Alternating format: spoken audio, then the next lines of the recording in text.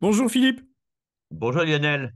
merci d'avoir accepté ce nouveau rendez-vous du Club Lamartine qui est diffusé sur YouTube et en podcast sur Deezer, Spotify et Apple Podcast. Philippe, on ne te présente plus, tu es un habitué du Club Lamartine, mais quand même, je vais faire une petite présentation quand même pour, euh, pour ceux qui ne te connaîtraient pas ou ceux qui ne sont pas habitués au- à ce rendez-vous, bien que j'ai reçu beaucoup, beaucoup, beaucoup de demandes pour le retour de ce rendez-vous et je tiens à les remercier. Euh, merci Philippe à eux, hein. comment? Merci à eux. Oui, merci à eux, oui, oui, effectivement. Philippe Rier, tu es journaliste politique, euh, tu es, l'ancien rédacteur en chef de la Lettre de l'Expansion et actuellement tu travailles pour euh, Challenge et la revue politique et parlementaire. Est-ce C'est que ça. c'est ça, je ne me trompe pas? Alors, comme je disais, on a eu un- un- beaucoup de rendez-vous ensemble. Là, on va parler des européennes. Euh, à quelques jours, hein, on est à un peu moins d'un mois. Euh, quel est le... On va faire un petit bilan, mais très rapide. Quel est ton premier fait de ces premières parties de campagne? Bah, le fait majeur, il y, en a deux, je dirais. C'est une très grande stabilité des, euh, sondages, des prévisions euh, d'expression du corps électoral. Donc, il semble que la situation soit figée. Est-ce qu'il y aura une décantation, une évolution dans les derniers jours, dans la dernière semaine? Pourquoi pas? Mais pour le moment, c'est très figé. Et le second point, c'est l'écart qui était de 7 à 8 au départ, mais qui s'est transformé à du simple au double entre la liste euh, euh, Bardella, Rassemblement national, qui fait maintenant pratiquement, suivant les sondages, le double de celle de Valérie Hayé, la candidate euh, de la liste majoritaire euh, gouvernementale et, proche d'Emmanuel Macron. C'est quand même ça le, plus important. Une situation qui paraît figée et un grand écart du simple au double entre la numéro 1, le numéro 1 et, la numéro 2. Petit rappel hein, quand même sur le mode de scrutin. Euh, c'est un tour et c'est à la proportionnelle. Ça a vraiment une importance que les gens se disent pas ah, j'irai voter au deuxième tour comme ils le font sur des élections euh, Et le vote a lieu le 9 juin, sachant que dans certains pays européens, les opérations commencent le 6 juin, D'accord. euh, parce qu'il y a des pays qui votent sur deux jours. Ok. Euh, premier fait, parlons un peu de, de, de, de la situation actuelle. Les républicains, un mauvais score à la présidentielle, un score qui s'annonce pas extraordinaire au moment euh, du scrutin, en tout cas si on, prend les, sondages actuels. Est-ce que les républicains ont disparu? Est-ce que c'est la, mort annoncée des républicains? Ils n'ont pas disparu, a priori. Ils devraient euh, passer euh, au-delà des 5%, qui leur permet de, se qualifier et donc d'amener des, des, eurodéputés au Parlement de Strasbourg. Ils n'ont pas disparu parce qu'ils devraient faire nettement plus que le score de Valérie Pécresse que de, de l'élection présidentielle. Et ils concourent pour obtenir à peu près le même score que celui qu'avait obtenu la, liste euh, de François-Xavier Bellamy en 2019, c'est-à-dire autour de 8%. Euh, on a l'impression que ça bouge pas, que le score de François-Xavier Bellamy, quoi qu'il fasse, ne bouge pas depuis le début, un peu scotché entre 6,5, 6 à 8 C'est effectivement une réalité pour le moment. Il faut savoir qu'il y a une situation défavorable pour eux, structurelle, c'est que cette liste est prise en étau entre la liste macroniste, euh, le courant modéré de droite légitimiste qui va quand même préférer voter pour la liste Hayé à la liste euh, LR. Et puis, de l'autre côté, l'autre mâchoire de l'étau, c'est euh, la liste de Jordan Bardella. Donc, il est à peu près invraisemblable qu'il y ait une dynamique qui tout d'un coup porte la liste Bellamy à 10-12 ou qu'il la fasse chuter à 4-5. On est plutôt autour de, d'un niveau de 6 à 8% euh, alors, il n'est pas impossible qu'il y ait des, des, facteurs, des, éléments de campagne qui fassent Mm. bouger cette donne. Et on peut peut-être citer un événement de campagne qui a incarné François-Xavier Bellamy il y a huit jours en allant sur le terrain à Sciences Po challenger euh, les députés euh, LFI présents, dont Louis Boyard. Et cette initiative a été saluée par, je dirais, les médias et les politiques proches de, euh, François-Xavier François Bellamy. Mais il faut bien admettre que pour le moment, les sondages enregistrent un petit progrès d'un demi-point, mais guère plus. Donc c'est très difficile pour Alice Bellamy de monter ou de descendre. En même temps, euh, rappelons que Valérie Pécresse, avant euh, le, premier tour, était un peu plus haut et qu'il y a eu un effet de vote utile sur la dernière ligne droite. Est-ce que euh, François-Xavier Bellamy peut être victime du même sort? Alors, ce sont deux élections qui sont très différentes. Peut-être que un candidat LR aurait été plus haut à la présidentielle, mais il y a eu un facteur qui était le choix de, ce candidat, qui n'a pas fait l'unanimité. Et on s'est aperçu que dès qu'elle a commencé à, enclencher des meetings, la mayonnaise ne prenait pas. Et donc, euh, son score a, a, dégringolé. Pour les listes, pour les européennes, c'est différent. Il y a des parts de gâteau, je dirais, électorales qui représentent des sensibilités vis-à-vis -vis de l'Europe, où donc les partis peuvent peut-être incarner un peu plus qu'un candidat à l'élection présidentielle, surtout mmh. s'il est entre guillemets mauvais, ce qui explique les scores relativement hauts et de Raphaël Glucksmann pour le PS et pas nuls de la part de François-Xavier Bellamy. Alors, il y a une autre euh, candidate qui est, qui est Marie euh, Toussaint, qui les Verts sont plutôt habitués à faire des scores plutôt élevés au moment des, des européennes. C'est plutôt dans l'imaginaire et en tout cas dans l'historique, c'est leur élection. C'est là où. Oui, ils... on se souvient de Daniel Cohn-Bendit. Oui, euh, bien sûr. Et, euh, et euh, ils font toujours des, des, bons scores habituellement. Et là, patatrac. Ben là, ça marche pas, Lionel. 8%, 7,5%, 8%, on va dire. En, en, tout cas, comme ça varie. En, ça marche pas pour deux, trois raisons, je dirais. Il y a une partie de l'électorat, on dit près de la moitié de l'électorat vert, qui a décidé de voter utile et de voter plutôt pour la liste place publique PS de Raphaël Glucksmann. Deux, il y a une incarnation à la tête de cette liste qui est pas flamboyante, euh, même si euh, la candidate a beaucoup de mérite et est très reconnue en interne, mais visiblement, elle n'irradie pas à l'extérieur euh, du, du, du, camp des Verts et bon, elle a des difficultés pour imprimer, comme on dit.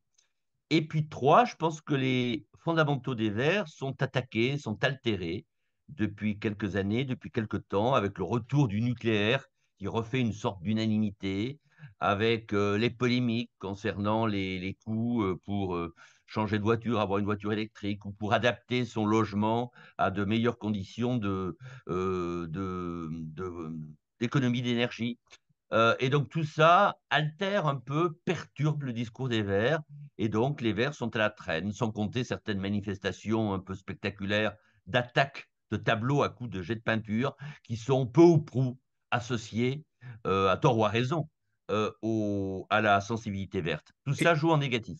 Est-ce qu'il ne paye pas un peu la scission de la présidentielle? Ah oui, oui, entre, oui, per... oui, entre oui, Sandrine Rousseau et... Aussi, ben, ce parti est divisé en, deux, enfin en deux, en deux, voire en plusieurs sous-sensibilités, mais il y a effectivement une tendance qui est très médiatique portée par Sandrine Rousseau, qui n'est pas dans la majorité de ce parti, mais qui, est nostalgique de la NUPES, mais qui est sur des thématiques plus sociétales, peut-être moins environnementales, moins historiques, moins, moins attachées à l'ADN de la, des Verts. Et donc, effectivement, il y a un parti à deux vitesses qui, qui, a plus de mal à se mobiliser, à se mettre en branle pour soutenir la liste de Marie Toussaint. Oui, c'est un peu le, ce centre gauche de, des Verts qui, est, qui a peut-être disparu, quoi. Ben, il n'a il pas disparu, enfin, il s'est affaibli parce qu'il rayonne moins, il radie moins et les Verts agrègent moins euh, les différentes sensibilités parce qu'il y a toujours eu des diverses hein, sensibilités. Euh, sensibilité un petit peu historique, puriste, euh, la sensibilité plus centre-gauche, la sensibilité sociétale. L'amalgame se fait moins bien. Voilà, puis il y a une dynamique pour une des trois listes, hein, parce que rappelons qu'il y a un mois, un mois et demi, un mois et demi, toutes les listes de gauche étaient à 7-8%. On ne savait pas laquelle allait émerger, celle de Manon Aubry, celle du PS, pourquoi pas celle des Verts, et puis c'est celle de Place Publique qui a fait le trou un peu aussi dans, dans, ces surprises et peut-être ces confirmations, euh, la, candidate de, de Renaissance, euh, Marion Maréchal Le, Le Pen, euh, qui, au moment de la présidentielle, on en avait parlé ensemble, on s'attendait à une surprise, un effet Marion Maréchal Le Pen, et là, bah là, elle est tête de liste. Et bah, ça décolle pas, c'est autour, encore une fois, autour de 5, 6, peut-être 7, comme les sondages sont un plus 2, moins 2, on, voilà. De Alors, Lionel, c'est pas la tête de liste de Renaissance, c'est la tête de liste Reconquête. Oh, excuse-moi, excuse-moi. Excusez-moi. Pour nos, pour nos auditeurs, C'est. Reconquête, le parti d'Éric Oui, Zemmour, hein, Ouais, la tête de liste. avec ses re. alors c'est l'heureux qui fait trébucher parfois, mais c'est pas grave. Donc la liste Renaissance, oui, elle reste scotchée autour de 6%. Également victime d'un vote utile, puisque les gens qui veulent sanctionner Emmanuel Macron, le gouvernement, bah, préfèrent voter en masse et porter au plus haut la liste euh, de, de, de Jordan Bardella. Deux, il y a l'échec, le souvenir de l'échec de l'apport de Marion Maréchal quand elle est arrivée, quand elle a débarqué dans la campagne de, d'Éric Zemmour euh, dans la présidentielle. C'était censé être un, un, joyau, un carburant formidable pour la, pour la dynamique Zemmour, et puis ça n'a pas fonctionné. Elle est peut-être arrivée trop tard. Et puis trois, je pense qu'il y a une, comme chez les Verts, il y a, des sensibilités diverses qui s'affrontent. La presse en est faite écho. Hein.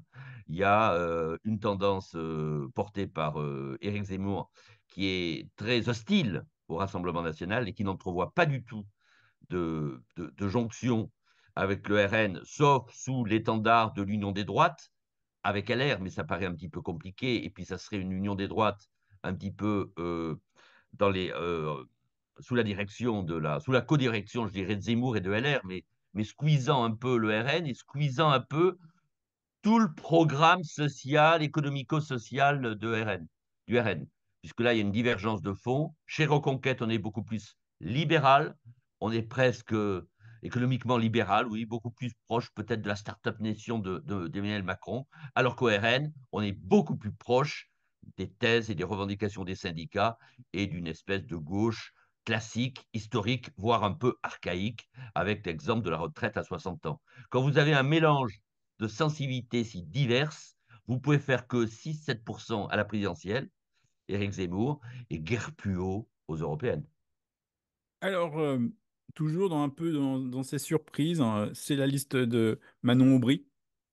Euh, qui euh, aussi, alors il y a une petite dynamique, en tout cas, on, sent qu'il y a un petit effet qui est en train de, de se produire ces derniers jours. Mais Mélenchon était super haut au moment de la présidentielle. Là, ben, on, on chute. est-ce que est-ce que c'est la candidate? Est-ce que c'est les choix de la campagne? Parce que on voit qu'ils C'est un font. peu tous ces facteurs, mon général. Euh, effectivement, c'est une candidate qui était déjà euh, candidate, hein, tête des listes, mais qui n'est pas un personnage sur la scène nationale hyper connu. Voilà, qui paraît être un peu numéro 2, 3, 3 bis, etc. dans la galaxie Mélenchon. Et c'est pas Mélenchon qui se présente. Voilà. Après, il y a des thèses et un parcours de, LFI euh, qu'on a connu dans ces derniers mois, avec finalement une contestation de ses prises de position, le conflit du Moyen-Orient, mais pas que, sur les tas de sujets, une espèce, un côté, euh, un côté radical, une espèce de radicalité.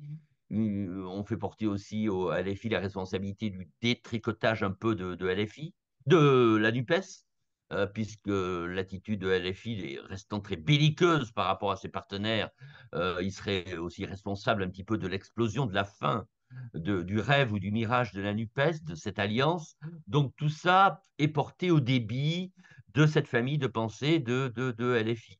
Voilà. Et puis là aussi, phénomène de vote utile, puisque toutes les enquêtes montrent qu'environ un tiers des électeurs de Jean-Luc Mélenchon préfèrent euh, voter utile et sont échaudés par les prises de position de Jean-Luc Mélenchon sur différents sujets et donc se sont éloignés de LFI pour se retrouver euh, plus proche d'une gauche un peu historique, néo-mitterrandienne, euh, qu'incarnerait, et en tout cas dirigée par l'intellectuel. Et ça, à gauche, ça a toujours été un, facteur très positif, une personnalité de la société civile. Autrefois, je dirais Cohn-Bendit, pour les Verts, hein, la candidature des Verts, et là, un intellectuel euh, cohérent, euh, qui ne change pas de route euh, pour la tête de liste PS Place Publique ce coefficient, cet élément est, aimante énormément, peut aimanter énormément l'électorat de gauche. Alors entrons dans, dans ces, ce trio de têtes et un peu ses surprises aussi. Euh, oui.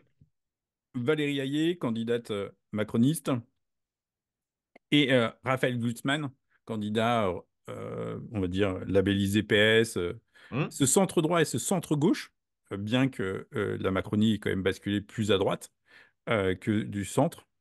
avec ses, ses, représentants au gouvernement. Est-ce que là, on est à la fin de la Macronie, la chute de la Macronie, ou la Macronie va se réveiller sur la dernière ligne droite Bon, là, la Macronie, elle souffre du fait qu'il y a un mécontentement global et qu'il y a une envie de vote sanction. Euh, cette fin de semaine, un sondage nous montre que la première motivation des électeurs, à 48%, c'est de sanctionner Emmanuel Macron. Bah, quand vous avez ça, vous ne pouvez pas prévoir un niveau très haut, un étiage très élevé la liste qui représente les couleurs, la sensibilité d'Emmanuel Macron. Donc la liste aillait. Là-dessus, bah, sur, dans un contexte de, pas encore de fin de règne, mais d'un second mandat dont on est arrivé à peu près à la moitié. Eh bien, déjà, les forces politiques euh, qui ont été marginalisées, cornérisées, affaiblies par la Macronie, sont tentées de relever la tête. Et ça vaut pour le PS, ça vaut pour les Républicains. Les Républicains, vous en parliez, eh bien, ils ont, une arme fatale qui pourrait servir bientôt à l'Assemblée, c'est l'histoire de la motion de censure, qui pourrait déboucher sur des élections anticipées, voire sur un changement de gouvernement, voire sur un deal, un accord gouvernemental où ça serait les républicains qui euh, donneraient le ton et le tempo. Et puis par ailleurs, la Macronie s'étant déplacée vers la droite, il est normal, qui est sur le flanc gauche, tout un secteur d'opinion, le centre-gauche, qui se réveille qui cherche un candidat. Vous avez entendu parler des, des, des, envies peut-être de retour de François Hollande. Il y a eu la carte Bernard Cazeneuve. Il y a le PS en tant que tel, et puis il y a des personnalités de la société civile, aujourd'hui euh, euh. Je n'exclus pas que demain, il y ait des personnages comme Laurent Berger qui réapparaissent dans ce paysage. Néanmoins, Raphaël Glucksmann, à ce niveau-là, il se réveille, c'est une, une, une surprise. Oui, c'est une surprise parce qu'il était à 7-8%, euh, comme les autres partis de gauche. On ne savait pas au départ qu'il allait émerger. C'est une surprise, ça paraît une surprise, oui, puisqu'il a un petit peu décroché les deux autres. Il est à 5 points à peu près au-dessus des autres listes de gauche et il est à entre 1 et 3 points de la liste ailleurs. C'est une surprise, mais à noter que son électorat, son, le niveau d'engagement et de certitude de vote pour la liste Glucksmann est relativement faible par rapport à ceux qui existent euh, notamment chez ORN, chez Reconquête ou chez LR. Donc, il faut encore, ça reste fragile. Alors, ce, la grosse surprise, en tout cas, euh, ce qui, la grosse surprise pour moi, c'est le, le, candidat Jordan Bardella, euh, RN euh, Front National, oui. qui est super haut, euh, autour de 31, 32, c'est ça. Selon, selon, les, les, sondages. sondages oui. euh, comment tu l'expliques? D'abord, ce niveau haut, effectivement, il est effectivement très haut. Je crois que ça serait la. S'il atteignait 32%, on n'a jamais vu ça sous la, sous la, sous la, sous la 5 République. Enfin, des, des, scores à la proportionnelle au premier tour de la présidentielle. Je crois que les scores les plus hauts, je crois que c'est une fois 31, et puis après 28-29, mais ça serait automatiquement très haut. Là, on peut, il peut atteindre un record. Bah, comment, ça s'explique C'est assez simple, hein. c'est un courant de pensée qui, était déjà très haut, avec 42%, hein. avec Marine Le Pen à 42% au second tour de la présidentielle. Et comme en deux ans, bah, les nouvelles, l'actualité, les inquiétudes de pouvoir d'achat, de sécurité, d'immigration, le surgissement des guerres, l'inquiétude civilisationnelle, culturelle, diront d'autres, ben, on a l'impression que tous les événements, faits divers, faits de société, guerre, crise du pouvoir d'achat, incapacité de l'État à prendre des décisions, à se faire respecter, y compris dans la justice, enfin, moindre efficience de l'État, eh bien tout ça, ça donne du grain à moudre. Alors 42%, bon, il n'est pas étonnant qu'on soit au moins à, touche-touche, je dirais, dans toutes les, enquêtes d'opinion sur un second tour entre un candidat RN, Marine Le Pen, Bardella, et un candidat du bloc central qui pourrait être Édouard Philippe ou, ou, ou, ou, Gabriel Attal. Et donc, euh, la base, c'est un score au-delà de 30-32% euh, au, au, sur, un, sur un scrutin à la proportionnelle aux européennes. Et à partir de ça, tout est possible. Donc, il n'y a rien de très surprenant. Ceux qui sont ils disent surpris, pas c'est grand-chose pendant cette, cette campagne. Comment? Ils disent pas grand-chose pendant cette campagne. Oui, ils disent pas grand-chose. Mais ils ont... Leur déterminant, c'est deux choses. C'est C'est une prime au physique? Emmanuel Macron et deux, euh, verrouiller, euh, verrouiller l'Europe en, la, en verrouiller surtout la France pour que la France soit moins pénétrée par des vagues d'immigration. Il suffit de dire ça et on ne parle pas d'Europe. Je pense Et- que les autres listes ne parlent guère euh, plus d'Europe d'ailleurs. alors, est-ce qu'il y a une prime au physique? Alors en physique, oui. Alors on va pas faire de la morphopsychologie, hein, de la morpho, ouais, une prise au, une, une- il y a une, il Non, mais dans notre, physique. Bah, il y a ceux qui prennent la lumière, qui ont du charisme, et il y a ceux qui, qui l'ont moins. Il n'y a pas de doute. Mais on s'aperçoit qu'il y en a beaucoup, sauf la candidate, justement, Valérie Ayer, mais presque tous les autres ont, un- ont certainement du charisme, ont quelque chose. L'intellectuel euh, Luxman, l'homme de droite, euh, professeur de lettres, intellectuel aussi, François-Xavier Bellamy, qui est quand même différent du sénateur moyen lambda euh, euh, LR. hein. Il est quand même particulier. Alors on aime ou on n'aime pas, mais il dégage quelque chose Bardella, Marion Maréchal, tous ces gens-là, ils ont, ils ont du charisme. Il n'y a pas photo. Même Manon Aubry dans son genre. Elle a quelque chose. Par contre, il y en a une qui n'a pas de charisme, qui est moins professionnelle dans, la, dans son expression, dans la com, dans les débats, qui paraît débutante, qui paraît, qui paraît euh, un peu amateur. Alors, elle ne l'est pas, parce que c'est une eurodéputée chevronnée, mais c'est une eurodéputée qui, comme beaucoup d'eurodéputés, on ne les voit jamais dans les médias. On ne Hmm. les voit jamais, ils ne sont jamais invités dans les débats politiques. Elle, est- elle avait sûrement des vertus, des qualités pour animer des, des- des commissions européennes, pour défendre des dossiers, pour s'affirmer vis-à-vis d'autres groupes, pour, vis-à-vis, pour s'affirmer vis-à-vis de ses collègues de son groupe lui-même Renew, puisque c'est elle qui a été choisie. Mais elle n'a jamais fait de training en vrai Hmm. dans des débats euh, sur la scène française. Et là, le retour sur la, la scène nationale est problématique pour elle.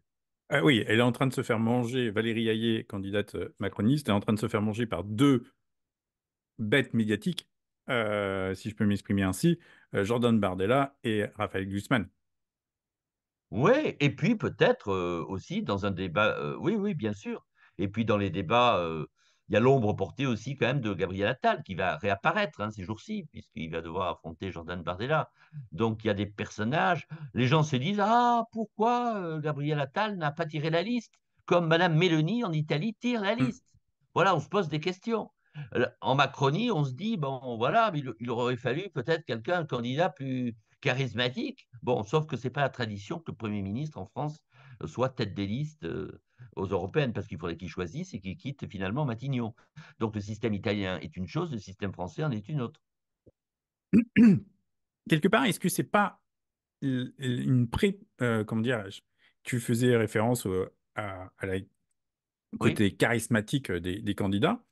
Euh, bien souvent, euh, la- la- la- les européennes sont considérées comme une élection, en tout cas pour les hommes et les femmes politiques, de seconde catégorie. Est-ce que là, on n'a pas les futurs candidats pour la présidentielle, Jordan Bardella, Raphaël Glucksmann? Alors, effectivement, ils ont un petit peu un baptême du feu. Ils testent un petit peu leur notoriété. Alors, on peut imaginer, oui, certains imaginent, mais ce n'est pas mon point de vue. On pourra en reparler plus tard euh, si tu le souhaites. Mais qui est une espèce de euh, rivalité après qui s'esquisse entre Marine Le Pen, Jordan Bardella, si Jordan Bardella faisait un très gros score. Bon, on peut penser aussi que une, une des clés de leur succès, c'est le fait qu'ils soient un binôme homogène, qui s'entendent et qu'il y ait une répartition des tâches. En gros, Marine Le Pen pour la présidence de la République et Bardella pour être Premier ministre. Mais tout ça peut changer, effectivement, sur euh, la foi d'un bon score, d'un très bon score. Imaginons que Bardella fasse euh, 35% le 9 juin, bah, ça va secouer, hein. ça va secouer, ça va lui donner peut-être des envies, on peut, on peut tout imaginer. Imaginons qu'il ait un score de décevant, comme le RN l'avait eu en 2019, décevant par rapport aux prévisions, aux sondages, et que finalement, au lieu de 31-32, il soit à 29-30. Donc, il plafonne à 30. Et le lendemain, les médias, le RN plafonne à 30. Et ça, c'est pas un bon signe pour la suite. Surtout si l'écart est peut-être pas si important avec euh, Valérie Hayé. Donc, ouais, pourquoi pas Bardella peut avoir un prurit présidentiel d'envie, oui, pourquoi pas, pour maintenant, 2027 ou pour plus tard, pour la succession de Marine Le Pen. Et puis deux, euh, oui, euh, Raphaël Glucksmann, enfin, je pense qu'il voilà, je pense que ses petits camarades euh, lui montreront assez vite qu'il y a d'autres talents, d'autres velléités. Et puis après, quand on est député européen, même pourquoi pas président d'une commission, voire un poste important dans, le système européen, c'est pas forcément après une bonne carte et on n'a pas forcément le temps pour faire campagne, pour apparaître pour un candidat crédible à la présidentielle. Euh, en même temps, euh, pour euh, Jordan Bardella et peut-être Raphaël Glucksmann, c'est pas encore Raphaël Glucksmann, c'est pas encore le cas aujourd'hui. il commence, en tout cas, Raphaël Jordan Bardella, excusez-moi, excuse-moi, commence à être testé par les, instituts de sondage. Donc ça aussi, ça, ça peut créer, s'il commence à ah être bah, un peu plus haut que Marine Le Pen, il peut, ça peut créer des frictions entre, les deux. Oui, c'est évident. Comme Glucksmann risque d'être. Il n'a pas été encore euh, testé, mais il va être testé. S'il avait un bon score, il va être testé et, ça va être intéressant de voir ce que ça donne si ça se transforme en, opinion favorable pour la présidentielle. Oui, oui, oui, oui, il va être testé. Il est déjà testé. Bon, mais enfin, pour le moment, c'est. Les sondages euh, montrent que c'est un petit peu équivalent, euh, que ce soit Marine Le Pen ou, Bardella face à ses adversaires ce qu'on peut simplement noter, ce qui te fait poser cette question et ce qui me fait te répondre, c'est que les études d'opinion montrent qu'il y a un candidat qui est en dynamique, qui monte, mais c'est normal, puisqu'il reçoit l'éclairage, il reçoit l'éclairage d'une campagne aux européennes où il est tête de liste. Donc, en espoir, en prévision de, en, opinion favorable, quand on pose euh, la question aux gens, pensez-vous que euh, M. Bardella a un avenir, pourrait être, ainsi de suite? Ben, C'est évident qu'il va très vite euh, dépasser ou être au niveau de Marine Le Pen. Bon, Marine Le Pen, on lui voit guère d'autre avenir que, la présidence de la République, si elle veut vraiment y aller. Pour Bardella, il y a d'autres il y a, d'autres responsabilités qui peuvent l'intéresser d'ici là. S'il y a une dissolution et que le RN l'emporte, ça peut être Matignon, et puis il a le temps. Voilà. Donc il est normal qu'il apparaisse, moi je peux dire qu'il apparaît en dynamique, en progression, hein, mais c'est normal vu le sondage et vu qu'on se dit qu'il est là pour 20 euh, ou 30 ans en politique. Alors, tu viens de faire allusion à cette, à cette euh, possibilité de dissolution. J'ai échangé avec un cadre euh, de euh, la droite républicaine il n'y a pas si longtemps que ça, et cette hypothèse, ce calcul politique, euh, cette, ce, je, je, sais pas, ce jeu dangereux qui serait de créer une dissolution afin de tester l'opinion publique, voire de créer une cohabitation RN-Macronie euh, afin de se retrouver en situation d'opposition et favorable au moment de la présidentielle. Je reviens à cette hypothèse, mais je n'y crois pas du tout. Je n'y crois pas du tout pour euh, tout un tas de raisons.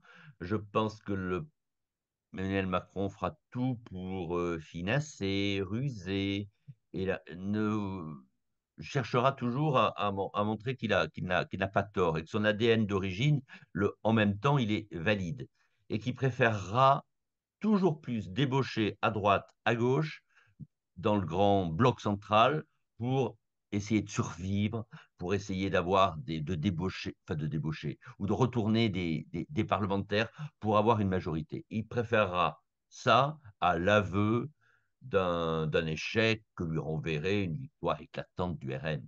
Il n'est pas du tout dans, cette, dans ce coup de bluff, dans ce coup de, de poker qui finalement le rendrait ridicule le rendrait ridicule au niveau national, au niveau européen, au niveau présidentiel, et où on dirait Ah, c'est celui qui a amené par sa politique depuis 7 ou 8 ans, et après une dissolution hasardeuse.